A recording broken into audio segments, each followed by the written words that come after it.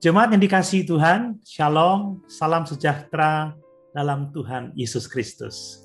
Mari kembali kita bersama-sama merenungkan firman Tuhan, masih dalam tema menguasai diri sendiri. Untuk itu, mari kita kembali membaca Galatia pasal 5 ayat 22 sampai 23 demikian firman Tuhan. Tetapi buah roh ialah kasih, sukacita, damai sejahtera, kesabaran, kemurahan, kebaikan, kesetiaan, kelemah lembutan, penguasaan diri. Tidak ada hukum yang menentang hal-hal itu. Pada kesempatan ini, saya akan mengemukakan kebutuhan kita untuk menguasai perasaan atau emosi kita. Jemaat yang dikasihi Tuhan, Emosi yang buruk akan membuat kita jatuh dalam berbagai-bagai macam pencobaan. Itu sebabnya kita harus dapat mengendalikan emosi negatif itu. Kita bukanlah korban emosi buruk kita. Jika kita secara genetik rentan terhadap depresi atau kecemasan atau sifat impulsif atau nafsu, kita mungkin harus berjuang lebih keras untuk mendapatkan kendali atas emosi kita daripada orang lain.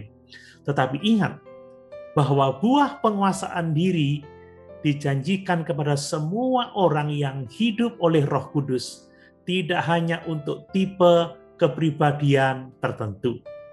Jika kita hidup dengan terus-menerus menyerah pada emosi buruk kita, kita tidak akan bertumbuh dalam kesalehan. Pengendalian diri berarti mengendalikan emosi kita untuk tujuan yang lebih tinggi. Jemaat Tuhan yang dikasihi Tuhan, Rasul Paulus menulis dalam Kolose pasal 3 ayat yang ke-8. Tetapi sekarang buanglah semuanya ini yaitu marah, geram, yang adalah emosi yang sangat buruk.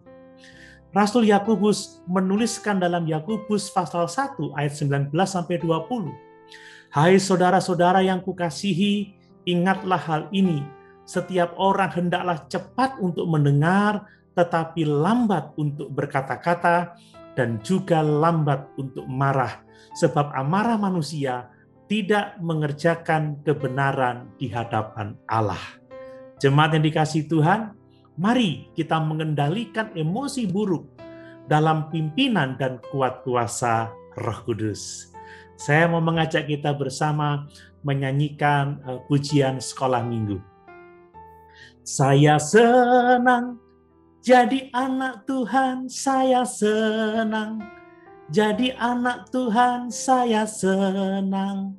Jadi anak Tuhan, anak Tuhan, tidak suka marah. Haleluya.